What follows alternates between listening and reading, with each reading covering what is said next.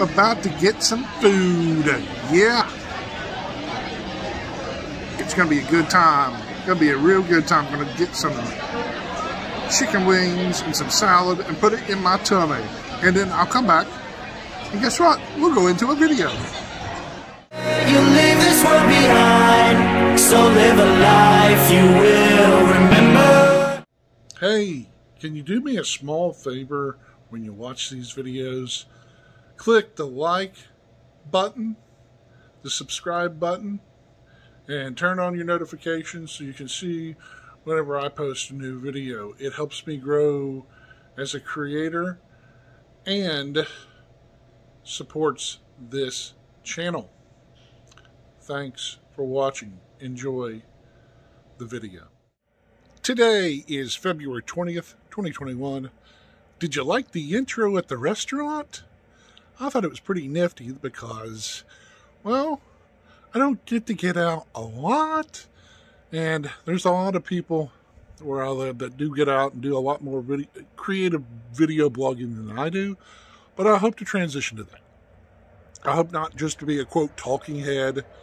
And no, I don't dress in a suit and tie. But still, I don't want to be the person you go, oh, he's just a talking head. He doesn't know anything. No, I want you all to know that I do know something. It's not much. And whatever wisdom I can share to you all, I shall. So, a quick topic for today is healthy, unhealthy, or unhealthy, healthy. You can overindulge in life and you can do things to the extreme, and that's not a good thing. I think that's where we are with our society. There's action and reaction, and then there's overreaction. Society currently overreacts from every angle. Doesn't matter what it is. Doesn't matter if it's politics, doesn't matter if it's movies, doesn't matter what it is. I, I could go on and on and on.